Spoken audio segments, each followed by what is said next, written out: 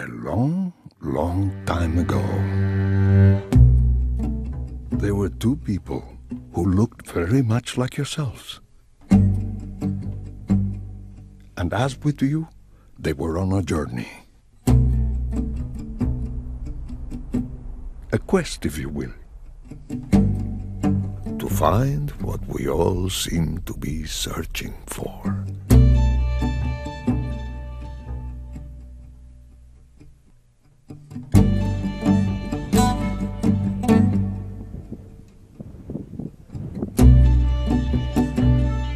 Reasons they may never even know. They entered the land of the great Atacama and headed south. Warm desert winds rose from the sands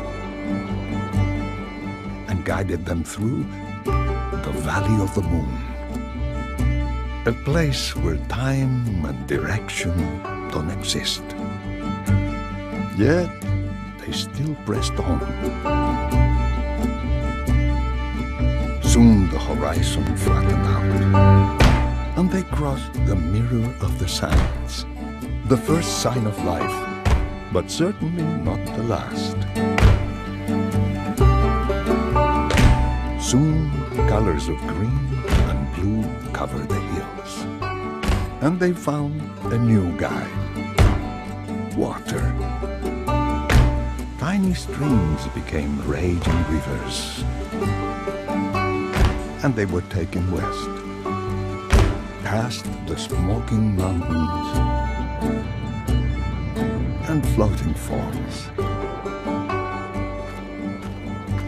until they reached the ocean, where sunlight grows from the ground and dances from the palm of your hands. They drifted south, each day a new door, a new direction, a new way to be.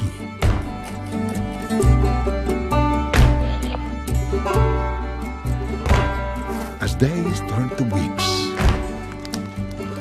visions of moving colors and curious creatures passed them by.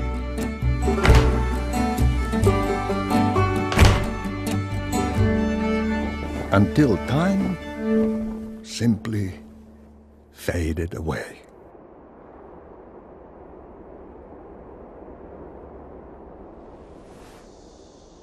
And as with all those who have come before you, their path soon came to an end. And they only found me, their future, quietly waiting. And I asked them the same two questions I will someday ask you. Is it possible to be happy with this life?